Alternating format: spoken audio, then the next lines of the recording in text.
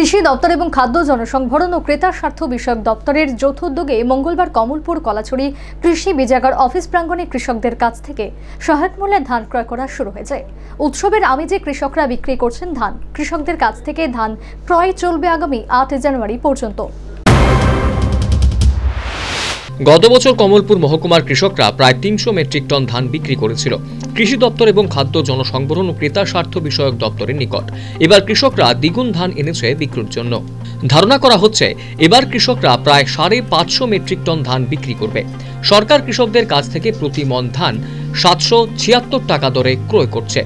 সিংহভাগ কৃষক একশো থেকে দেড়শো বস্তা করে ধান বিক্রি করার জন্য কলাছড়ি কৃষি বিজাকার প্রাঙ্গণে এনেছেন।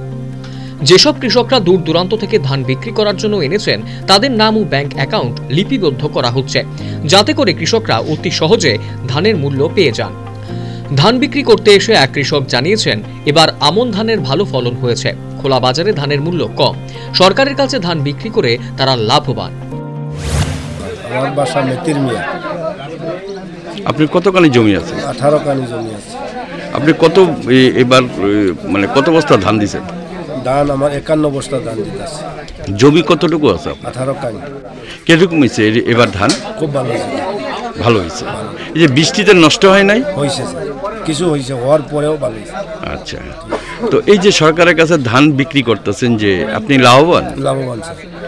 তো এমনি তো পাইকাররা পাইকারদের কাছে ছয়শো টাকা মন করে গেছে। পাইকাররা? পাইকার। ছশো টাকা মন। হ্যাঁ আচ্ছা।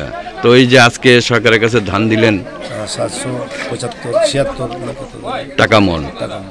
তো তো এর জন্য লাভ- লাভবান আমরা সরকারের দিলে। আচ্ছা। তো মানে কত বছর যাবত আপনি এইভাবে ধান বিক্রি করতেছেন সরকারের কাছে? যতদিন যত তাকে নেওয়া হচ্ছে তো তখন তখন থেকে অপর এক কৃষকও ধান বিক্রি করতে এসে বেশ খুশি। তিনিও সরকারের ধান কেনার জন্য সন্তোষ প্রকাশ করেছেন।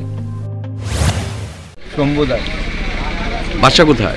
কলারছড়ি সাউথ কলারছড়ি আচ্ছা তো আপনি কত মান ধান নিয়ে এসেছেন এখানে? আমি তেতাল্লিশ ব্যাগ বস্তা। বস্তা নিয়ে এসেছেন তো এই যে সরকারের কাছে যে ধান বিক্রি করতেছেন আপনারা লাভবান? হ্যাঁ আমরা খুব লাভবান। আমরা কালকে আমি যাই এখানে আমার সমস্ত কৃষকই লাভবান। নাইলে তো আমরা কই বিক্রি করুন ধান? কত টাকা করে আপনি এই ধান বিক্রি করতেছেন? ওখানে বর্তমান হ্যাঁ? সরকার তো সত্তর সাতশো সত্তর টাকা নিয়ে করতেছে তিয়াত্তর টাকা। সাতশো তিয়াত্তর টাকা? হ্যাঁ। মন? মন। আচ্ছা। তো এই এরকম কতজন কৃষক আছে আপনাদের এই কলাচুরিতে বহুত কৃষক আছে। সবাই কি ধান দিতেছে? সবাই দিতেছে।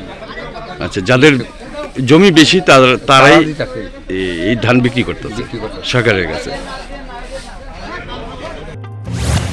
উৎসবের আমেজে কৃষকরা বিক্রি করেছেন ধান। কৃষকদের কাছ থেকে ধান ক্রয় চলবে আগামী আট জানুয়ারি পর্যন্ত। এদিন কৃষকদের ধান বিক্রিতে কমলপুর মণ্ডল কিষাণ মোর্চার পক্ষ থেকেও কৃষকদের নানাভাবে সাহায্য সহযোগিতা করা হয়। Bureau report, news Vanguard.